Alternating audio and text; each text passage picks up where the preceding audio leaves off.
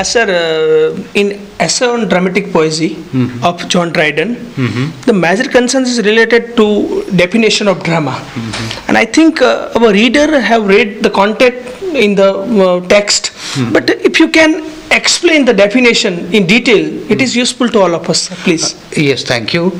Actually, what happened whenever we see the definition of drama, Yes, the few important points we have to keep in our mind when the readers are taking these points, then it would be better to understand Dryden's interpretation on dram- dramatic poesy.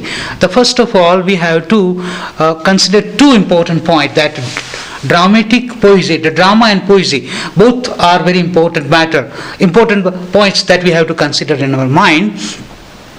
And the definition is, uh, Dryden has suggested, sorry, uh, in dramatic poesy it is presented. Uh, I wish to highlight the few words because these words have the very important Yes, uh, significance. significance. A play ought to be a just and lively image of human Okay. nature. Just it should, it, mean, it means there is no artificiality Ah, yeah. or consciousness. It should be very natural, just and live, lively imagination. So it should not be uh, the artificiality is not uh, uh, considered. So if uh, these things are considered, then we I think that uh, uh, Dryden's uh, interpretation we can evaluate and understand in a better way.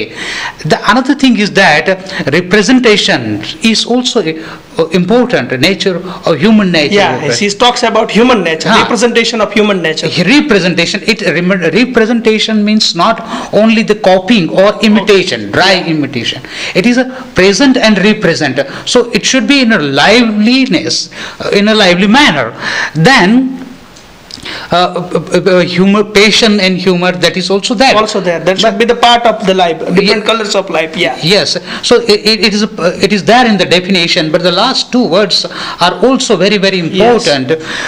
These two words are that, that delight. Yeah, exactly. Delight is very important, pleasure is not used. Okay. So delight, see that. So, so it means to, uh, that, do you find any difference between pleasure and delight? Yeah, pleasure may be sensual. Okay. A delight may be divinely. Yeah. And after delight, then one may have a feeling of a peace. Okay.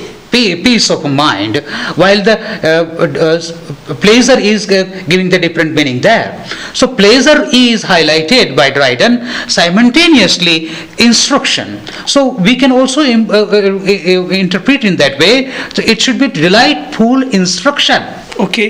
See, if uh, when we go through that all the tradition of human civilization, instruction comes. No, Exactly. But a human being doesn't follow the instruction. Okay. But if it is in a delightful way, Yeah. then what happens? It becomes uh, uh, the landmark event. Okay, sir. So I think that while reading the dramatic poesy, this interpretation, this concept must be clear. If it is clear, uh, uh, uh, then what happen?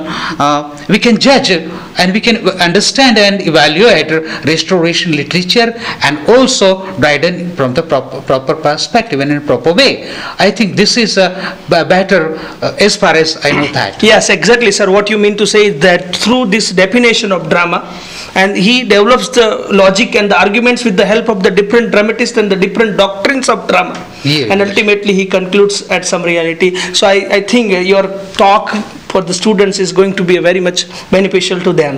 I hope so. Thank you. Thank you.